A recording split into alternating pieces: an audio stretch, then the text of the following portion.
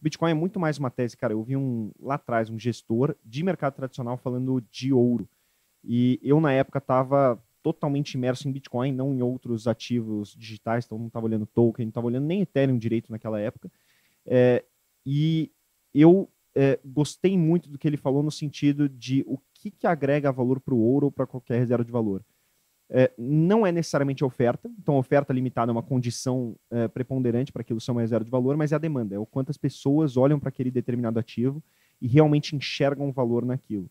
É, isso vai ser preponderante para o Bitcoin, porque se ele tem uma volatilidade muito grande, é muito difícil que as pessoas olhem para ele como uma reserva de valor, porque ele já não tem uma característica que deveria ser guardar valor ao longo do tempo de uma forma muito resiliente.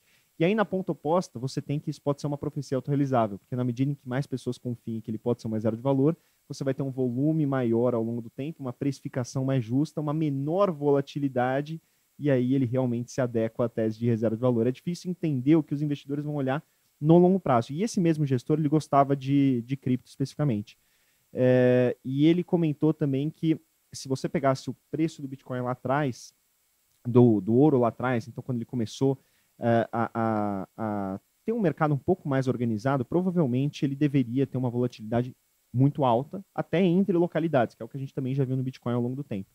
É, então, potencialmente, isso é só um timing de mercado que ao longo do tempo vai se corrigir. Então, quando eu estou levantando essa questão, estou levantando como um ponto de inflexão para o Bitcoin no sentido de, não, beleza, esse negócio morreu. Eu acho que é muito mais uma questão de timing, mas é um timing que me preocupa para o Bitcoin, para o cara que é maximalista, porque provavelmente ele está muito alocado em Bitcoin, como sempre estiveram.